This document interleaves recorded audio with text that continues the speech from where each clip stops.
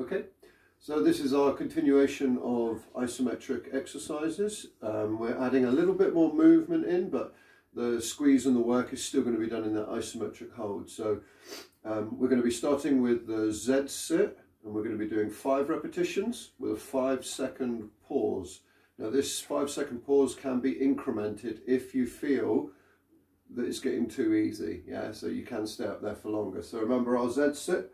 So with our torso upright, we squeeze on the glutes, activate the quads, and push your hips forward here. So you're trying to go knee, hips, shoulders, same line. Hold for five, four, three, two, one. And then slowly, gently lower down, okay?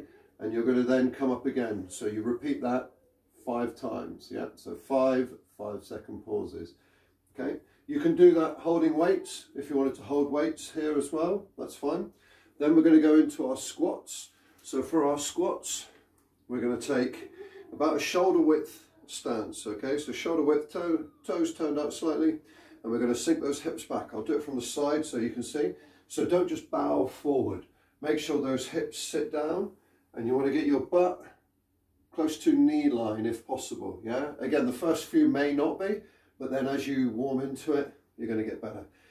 So this time we're going to do five squats and then we're going to hold the fifth one down for five seconds. Again, that isometric hold can be increased over time to make it harder, but we're going to do it nice and gently. So we're going to do one, two, and make sure you don't lock those knees when you get to the top, yeah? Three, four. Now on the fifth one, we go down and we hold it. Five, four, three, two, one. Okay, and now we're going to do five more squats. And we basically go until we've done 25 squats in total. So there's going to be five five second pauses again, but we've introduced some very slow push um, squats here. So to make sure that you're not spiking that heart rate. I know Cat coming in, he heard the camera was on, so yeah. That's for our legs. Now we go into our upper body.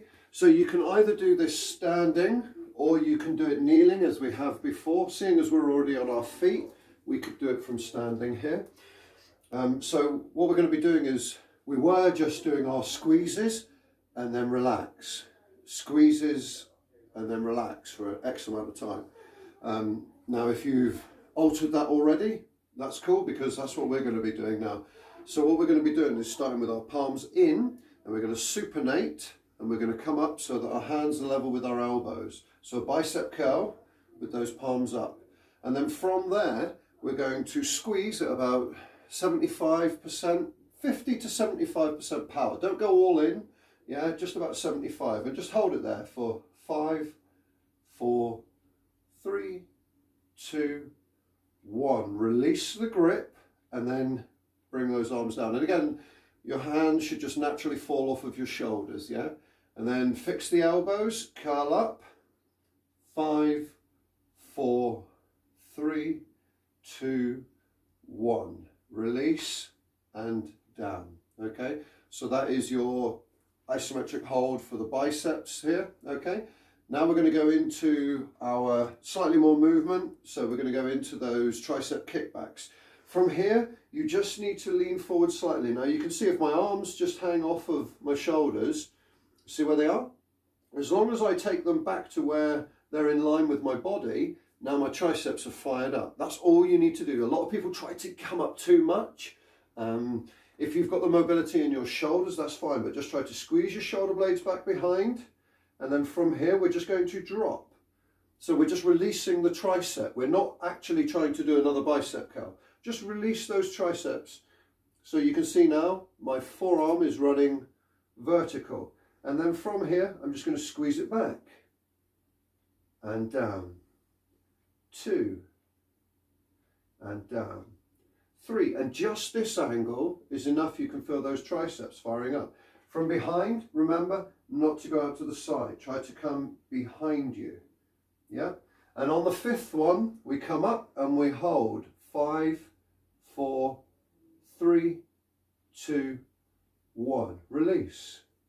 And then we go again. Five, four, three, so on, so on until we get to the five, squeeze, 25 repetitions again. Okay, so that's basically the continuation. So this is our second week, seeing as we did well on the first week. So enjoy, okay?